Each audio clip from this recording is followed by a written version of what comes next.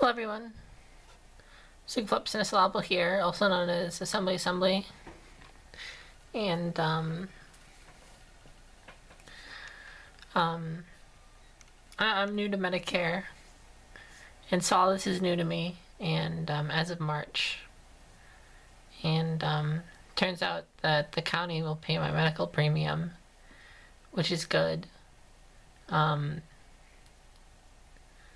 this is something that I want. and, uh, but it also turns out that um, Medicare Part D won't pay for one of my drugs, which is about the same price as uh, my medical premium. So, plus one, minus one. So that's not very good. Um, like I said, I'm I'm new to Medicare.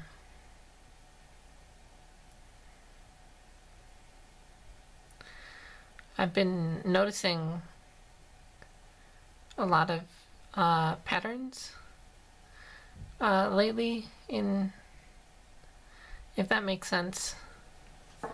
Um, my brain, the best way to explain it is my brain goes everything that starts with D. Then I think about everything that starts with D. Sometimes I write these things down. And um,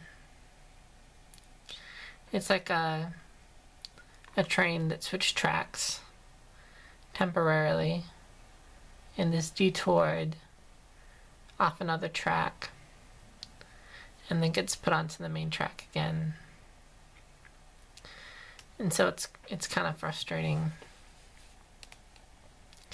And I feel this compulsion to think about everything that starts with D or everything that has 3 3 in it or things like this. And that's been happening a lot recently. I don't know if that's a sign of anything. But we'll see. That's it. Take care, everyone. Bye bye.